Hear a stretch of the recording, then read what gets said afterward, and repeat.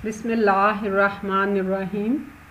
In the name of Allah, the gracious, the merciful. Connect to Allah because this line is never busy, always answered, no hang up, no heartbreak. Allah has made it easy. So read Quran with translation every day. Before watching this video, watch previous video on enlarged lymph nodes. Today we are going to discuss lymphoma. By definition, lymphoma means a malignant tumor of lymphatic system.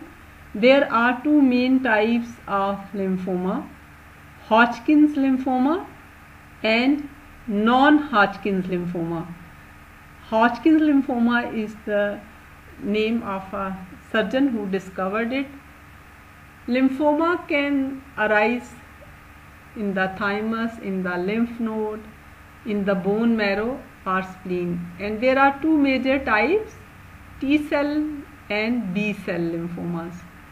Warning signs of lymphomas are fever, swelling of the face and neck, lump in the neck or groin, excessive sweating at night, unexpected weight loss, loss of appetite, feeling of weakness and breathlessness. Lymphoma, the most common presentation is asymptomatic lymph node enlargement typically in the neck. Non-Hodgkin's lymphoma are more common and among them diffuse large cell B cell lymphoma is more common. Hodgkin's lymphoma neoplastic transformation of lymph nodes particularly in uh, lymphocytes in lymph nodes and presence of Reed-Sternberg cells on histology. Reed-Sternberg cells are large cells.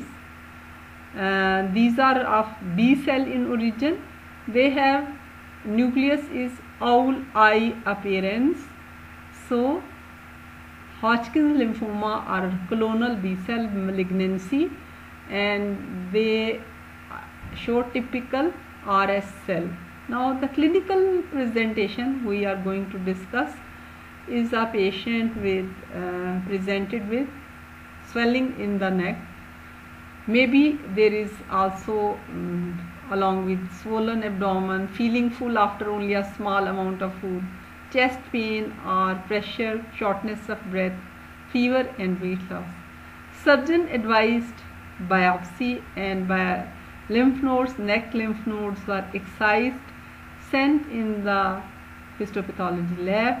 Here you can see there are multiple lymph nodes, some uh, are small but all are enlarged and their cut surfaces homogeneous. So they there is no necrosis or chalky white areas or hemorrhages. Uh, homogeneously tan pink in color they are processed, processed and the microscopic appearance show loss of nodular architecture. Normal lymph node shows lymph uh, germinal centers, medulla and cortex. Here there is diffuse proliferation of atypical cells. So we can say loss of nodal architecture and diffuse proliferation of atypical cells. So histology histopathological findings are loss of nodal architecture and diffuse proliferation of atypical lymphocytes. Now if there is uh, Hodgkin's disease then uh, you can see RS cells. So in case of uh, um, Hodgkin's lymphoma we can say loss of nodal architecture, presence of Reed-Sternberg cells against reactive background.